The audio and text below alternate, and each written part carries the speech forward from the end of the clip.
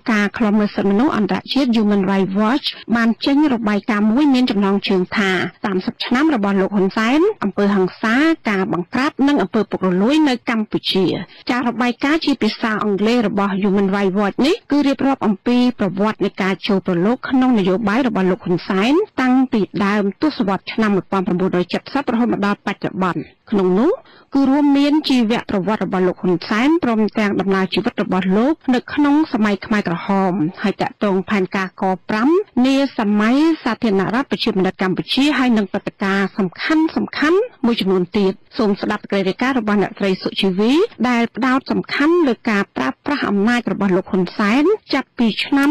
1992ដល់ឆ្នាំ1993និងអំពើហិង្សាក្នុងឆ្នាំ1997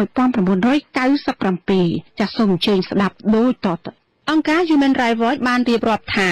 ដើម្បីស្វាគមន៍ការមកដល់របស់អ៊ុនតាក់គណៈបកប្រជាជនកម្ពុជាបានបង្កើតក្រុមការងារពិសេសដើម្បីវាយប្រហារគម្រាមកំហែងនិងបំផិតបំភ័យគណៈបកនយោបាយមួយចំនួនរួមមានគណៈបកប្រជាធិបតេយ្យសេរីនិយមព្រះពុទ្ធសាសនាក្រុមខ្មែរក្រហម និងក្រុមប្រឆាំងដទៃទៀតក្នុងរយៈពេលនោះលោកហ៊ុនសែននៅតែបន្តធ្វើជានាយករដ្ឋមន្ត្រីនិងកាន់កាប់កងទ័ព អង្គការ Human Rights Watch បានសម្អាងរបាយការណ៍ចុងក្រោយរបស់អ៊ុនតាក់ដែលបានរៀបរាប់ពីអំពើហិង្សាដែលប្រព្រឹត្តដោយកងកម្លាំងនៃគណៈបកប្រជាជនកម្ពុជា ស្របគ្នានេះបានបញ្ជាក់ថារដ្ឋាភិបាលកម្ពុជា ដែលបន្តការងារពីសាធារណរដ្ឋប្រជាមានិតកម្ពុជាគឺជាអ្នកទទួលខុសត្រូវចំពោះការប៉ុនប៉ងសម្លាប់ក្រុមនយោបាយប្រឆាំងចំនួនជិត40ករណីនិងទៅលើពលរដ្ឋជាជនស៊ីវិលជាង20ករណីទៀតនៅមុនពេលបោះឆ្នោតជាតិអាណត្តិទី1របាយការណ៍បន្តទៀតថា ការរំលោភបំពានទាំងនោះប្រព្រឹត្តដោយកងកម្លាំងនគរបាលនិងយោធាដែលអនុវត្តក្រោមបញ្ជារបស់ភ្នាក់ងាររបស់គណៈបកប្រជាជនកម្ពុជា ក្រៅពីនេះគេបានបង្កើតក្រុមកងកម្លាំងជាច្រើន មានទាំងក្រុមបើកចំហនិងក្រុមសម្ងាត់ក្រុមប្រភេទនេះមានទាំងនៅថ្នាក់ក្រសួងបណ្ដាក្រុងនិងខេត្តអ្នកធ្វើការតាមក្រុមទាំងនោះអាចនឹងត្រូវគេជ្រើសរើសចេញពីកងកម្លាំងរក្សាសន្តិសុខភាគច្រើននៃក្រុមទាំងនោះត្រូវបង្កើតក្នុងគោលដៅវាយប្រហារក្រុមប្រឆាំង ក្នុងក្រុមទាំងនោះមានក្រុមមួយដែលទំនងថាជាក្រុមដែលក្រោយមកពាក់ព័ន្ធនឹងការវាយប្រហារដោយគ្រាប់បែកទៅលើវងបាតុករនៅក្នុងឆ្នាំ1997និងការរំលោភបំពានផ្សេងទៀតហើយក្រោយមកក្រុមនេះបានបដូរឈ្មោះថ្មីគឺកងពលតូចលេខ70ដែលត្រូវគេស្គាល់ថាជាកងកម្លាំងផ្ទាល់របស់លោកហ៊ុនសែនក្នុងរបាយការណ៍ដដែលបានលើកឧទាហរណ៍ជាក់ស្ដែងពីក្រុមមួយដែលដឹកនាំដោយមន្ត្រីជាន់ខ្ពស់នៃរដ្ឋកម្ពុជាដែលអាចជាប់តាក់ទងនឹងគម្រោងសម្លាប់សកម្មជនប្រឆាំង មន្ត្រីម្នាក់ដែលអ៊ុនតាក់បានសម្ភាសប្រាប់ថានៅពេលដែលគណៈបកប្រជាជនកម្ពុជាភ័យខ្លាចចាញ់ឆ្នោតលោកស៊ិនសុងនិងលោកស៊ិនសេនដែលទទួលបន្ទុកសន្តិសុខផ្ទៃក្នុងបានរួមគ្នាជាមួយក្រុមឧត្តមសេនីយ៍ប៉ូលីសនិងទាហានបង្កើតរចនាសម្ព័ន្ធថ្មីមួយក្រុម A90 គឺជាក្រុមសម្ងាត់ដែលត្រួតពិនិត្យនិងគ្រប់គ្រងស្ថានភាពទូទៅទូទាំងប្រទេសក្រុមនេះមានតួនាទីស្វែងរកចលនានយោបាយនិងក្រុមប្រឆាំងរីឯក្រុម A92 គឺជាក្រុមសម្ងាត់នៅក្រោមក្រសួងមហាផ្ទៃ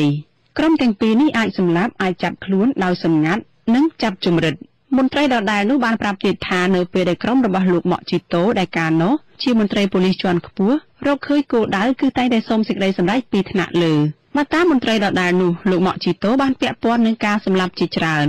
លោកសុកផលទទួលខុសត្រូវផ្នែកសន្តិសុខជាតិត្រូវរាយការណ៍ទៅលោកស៊ិនសេនចំណែកលោកលូរ៉ាមីនកាន់ផ្នែកសន្តិសុខអន្តរជាតិ ក្រោយមកលោកស៊ុនសែនត្រូវចាប់ខ្លួនដាក់ពន្ធនាគារនៅក្នុងគម្រោងរដ្ឋប្រហារនៅក្នុងឆ្នាំ1994ក្រុម A ក៏ត្រូវកែសម្រួលពេលដែលលោកហ៊ុនសែនទាមទារឲ្យតែងតាំងអ្នកថ្មីហើយកាន់តំណែងថ្មីដែរគឺមេប៉ូលីសជាតិនោះលោកហុកឡុងឌីក៏ត្រូវតែងតាំងដែលក្រោយមកបានពង្រីកការគ្រប់គ្រងទៅដល់ដែនអំណាចរបស់លោកជាស៊ីមនិងលោកសខេងបច្ចុប្បន្នក្រុមនេះត្រូវដំណើរការក្រោមនគរបាលជាតិ ដោយបែងចែកជាពីរក្រុមគឺកម្លាំងល្អនិងកម្លាំងសម្ងាត់អង្គការ Human Rights Watch បានលើកឡើងថារហូតមកដល់ពេលនេះពុំមាននរណាម្នាក់ដែលត្រូវរៀបរាប់នៅក្នុងរបាយការណ៍របស់អ៊ុនតាក់នោះត្រូវនាំទៅឲ្យទទួលខុសត្រូវចំពោះមុខច្បាប់ឡើយប៉ុន្តែកាន់តែអាក្រក់ថែមទៀតគឺអ្នកទាំងនោះត្រូវដំឡើងតួនាទីនៅក្រៅពេលដែលអ៊ុនតាក់បានដកចេញ។ ចូលរឆ្នាំ1997រដ្ឋាភិបាលសម្ព័ន្ធភាពរវាងគណៈបកហ៊ុនស៊ិនពេជ្រនិងគណៈបកប្រជាជនកម្ពុជាបានបែកបាក់ការផ្ទុះអាវុធដាក់គ្នារវាងកងកម្លាំងបកទាំងពីរក៏ចាប់ផ្ដើមនៅបាត់ដំបង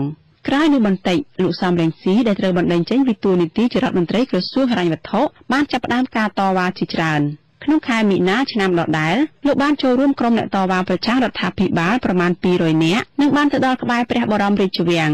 ការគប់គ្រាប់បែកទៅលើក្រុមនេះបានសម្លាប់មនុស្ស16នាក់និងច្រើនអ្នកទៀតរងរបួសក្រុមប៉ូលីសដែលស្ថិតនៅទីនោះបានរារាំងមិនឲ្យសង្គ្រោះជនរងគ្រោះហេតុការណ៍នោះគឺជាលើកដំបូងបង្អស់ដែលគេសង្កេតឃើញកងកម្លាំងកងពលតូចលេខ70ត្រូវគេពង្រាយឃ្លាំមើលអ្នកតវ៉ាយ៉ាងណាការិយាល័យស៊ើបការសហព័ន្ធឬ FBI បានបញ្ឈប់បេសកកម្មរបស់ខ្លួននៅមុនពេលកំណត់ដោយពុំមានមូលហេតុចំណែករដ្ឋាភិបាលវិញពុំបានចោទប្រកាន់អ្នកណាម្នាក់ដែរផ្ទុយទៅវិញ ក្រមមន្ត្រីត្រូវឡើងតំណែងមេបញ្ជាការកងពលតូចលេខ70លោកហ៊ុយពិសិដ្ឋត្រូវតែងតាំងជាឧត្តមសេនីយ៍និងជាអនុរដ្ឋលេខាធិការក្រសួងការពារជាតិចំណែកមេបញ្ជាការរងកងពលតូចលេខ70ដែរនោះគឺលោកហ៊ីងប៊ុនហៀងក្រោយមកត្រូវតែងតាំងជាមេបញ្ជាការកងយុទ្ធពលខេមរៈភូមិន្ទករណីគប់គ្រាប់បែកនោះនៅតែត្រូវចាត់ទុកថាជាផ្នែកមួយនៃនីតិរដ្ឋភាពនៅកម្ពុជានៅក្រៅហេតុការណ៍គប់គ្រាប់បែកនោះលោកហ៊ុនសែន បានបន្តប្រើយុទ្ធសាស្ត្របំបែកដើម្បីទទួលបានសម្លេងភាគច្រើនក្នុងសភាដោយផ្ដាល់សំណូកនិងគម្រាមកំហែងប្រឆាំងសមាជិកហ្វុនស៊ិនពេជ្រនៅក្នុងខែកក្កដាឆ្នាំ1997លោកហ៊ុនសែនបង្កើតឲ្យមានព្រឹត្តិការណ៍មួយដែលអង្គការសហប្រជាជាតិហៅថារដ្ឋប្រហារប្រឆាំងនាយករដ្ឋមន្ត្រីទី1គឺទ្រង់នរោត្តមរណរដ្ឋកងកម្លាំងនិងក្រុមមន្ត្រីមួយចំនួនរបស់គណៈបកប្រជាជនកម្ពុជាមានលោកជាស៊ីមលោកសខេងនិងលោកកែគុណយ៉ានជាដើមបានប្រឆាំងនឹងផែនការរដ្ឋប្រហារនោះ ប៉ុន្តែលោកហ៊ុនសែនបានប្រើកម្លាំងផ្ទាល់របស់ខ្លួនរដ្ឋប្រហារនោះត្រូវបន្តដោយការកាប់សម្លាប់ក្រៅច្បាប់ ការបូជាសពដែលមិនស្គាល់អត្តសញ្ញាណដោយលាក់កំបាំងការធ្វើទរណកម្មនិងការឃុំឃាំងដោយកងកម្លាំងរបស់លោកហ៊ុនសែនអ្នករងគ្រោះភៀសច្រើនគឺកងកម្លាំងរបស់ហ្វុនស៊ិនពេជ្ររបាយការណ៍របស់អង្គការសហប្រជាជាតិបានរកឃើញថាពេលនោះ មានមន្ត្រីបកនយោបាយប្រមាណពី40ទៅ60នាក់ត្រូវសម្លាប់ក្រៅច្បាប់ក្នុងរបាយការណ៍ក៏បានរៀបរាប់ពីការស្លាប់របស់ឧត្តមសេនីយ៍មួយចំនួនមានចៅសម្បត្តិនិងក្រូចយឿមបន្ទាប់ពីត្រូវចាប់បាននៅថ្ងៃទី8ខែកក្កដាដោយកងកម្លាំងអង្គភាពឆាត់យង911ក្រោមបញ្ជារបស់លោកចាប់ភក្តីសាក់សីនិយាយថាអ្នកទាំងពីរត្រូវបាញ់ចំក្បាលចំនួន3គ្រាប់ប៉ុន្តែរដ្ឋាភិបាលពុំដែលបានស៊ើបអង្កេតករណីនេះឡើយគឺគ្រាន់តែអះអាងថា លោកចៅសម្បត្តិខំអណ្ដាតសម្លាប់ខ្លួនយ៉ាងណាសាកសពរបស់អ្នកទាំងពីរត្រូវរកឃើញដោយអង្គការសហប្រជាជាតិនិងក្រុមគ្រួសារដែលបង្ហាញពីអំពើទរណកម្មមុនពេលស្លាប់អង្គភាព911ត្រូវរកឃើញថាពាក់ព័ន្ធនឹងអំពើទរណកម្មទាំងនោះនៅពេលដែលអង្គការសហប្រជាជាតិបើកការស៊ើបអង្កេតមានបញ្ជាការអង្គភាព911លោកចាប់ភក្តីបានទទួលស្គាល់ថា ពិតជាបានចាប់ខ្លួនមនុស្សមួយចំនួនប៉ុន្តែបដិសេធថាមិនបានដឹងថាមានរឿងអ្វីកើតឡើងចំពោះអ្នកទាំងនោះឡើយក្រោយមកលោកចាប់ភក្តីដែលស្និទ្ធនឹងលោកហ៊ុនសែនថែមទាំងត្រូវបានឡើងបនស័កតែងតាំងជាឧត្តមសេនីយ៍ទៀតករណីធ្ងន់ធ្ងរជាងគេគឺការសម្លាប់លោកហូសុកដែលជាមន្ត្រីហ្វុនស៊ិនពេជ្រជារដ្ឋលេខាធិការក្រសួងមហាផ្ទៃធ្លាប់ចេញមកប្រឆាំងលោកនាយករដ្ឋមន្ត្រីក្នុងករណីរៀបចំបណ្ដឹងប្រឆាំងលោកម៉ុងរទ្ធីដែលជាអ្នកជំនួយស្និទ្ធនឹងលោកហ៊ុនសែនពាក់ព័ន្ធនឹងការជួញដូរគ្រឿងញៀន លោកហ៊ុនសែនធ្លាប់គម្រាមអ្នកហ៊ានលូកលាន់រឿងនេះឲ្យពាក់មួកដែកលោកហូសុកក៏មានសត្រូវម្នាក់ទៀតនៅក្នុងក្រសួងមហាផ្ទៃគឺលោកហុកឡង់ឌីនៅក្រៅរដ្ឋប្រហារលោកក៏ត្រូវចាប់ទៅក្រសួងមហាផ្ទៃហើយត្រូវបាញ់សម្លាប់សាកសពរបស់លោកត្រូវដុតចោលនៅក្នុងវត្តមួយនៅពាក់កណ្ដាលអាត្រៀតមនុស្ស3នាក់ត្រូវគេនាំទៅសួរចម្លើយនៅក្នុងករណីនេះប៉ុន្តែត្រូវដោះលែងឲ្យរួចខ្លួនហើយការស៊ើបអង្កេតបន្តក៏ពុំមានលទ្ធផល របាយការណ៍បន្តទៀតថាជនស៊ីវិលដែលត្រូវសម្លាប់នៅក្នុងព្រឹត្តិការណ៍រដ្ឋប្រហារក្នុងឆ្នាំ1997នោះគឺអ្នកសារព័ត៌មានខ្មែរសញ្ជាតិកាណាដាលោកដោកសុគន្ធឬ Michael Senior នៅពេលដែលលោកកំពុងថតរូបកងកម្លាំងរដ្ឋាភិបាលប្រមូលជ័យភ័ណ្ឌនៅតាមហាងឬផ្ទះប្រជាពលរដ្ឋក្នុងរាជធានីភ្នំពេញភរិយារបស់លោកគឺជាសាក្សីផ្ទាល់ភ្នែកប៉ុន្តែករណីនេះពុំមានចំណាត់ការផ្លូវច្បាប់ណាមួយឡើយការសម្លាប់ទាំងអបាម៉ានគឺជាការបំផិតបំភ័យអ្នកនយោបាយប្រឆាំង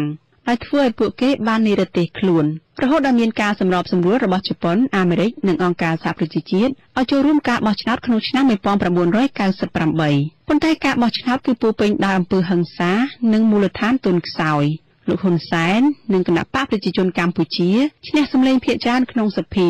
ជាមានរៃវ៉ៃសន្និដ្ឋានថាទាំងរដ្ឋប្រហារនិងការបោះឆ្នោតបានជួយឲ្យលោកហ៊ុនសែនពង្រឹងអំណាច នៅចុងឆ្នាំ1999ក្រសួងមហាផ្ទៃបានអះអាងប្រាប់អង្គការសហប្រជាជាតិថាគេបានដាក់បណ្ដឹងចំនួន7ផ្សេងផ្សេងគ្នាពាក់ព័ន្ធនឹងអំពើហិង្សាមួយចំនួនប៉ុន្តែក៏នៅតែពុំឃើញមានដំណឹងអ្វីពីការចោទប្រកាន់ជនដៃដល់ឡើយនាងខ្ញុំសុជីវីវិទ្យុអាស៊ីសេរីភ្នំពេញ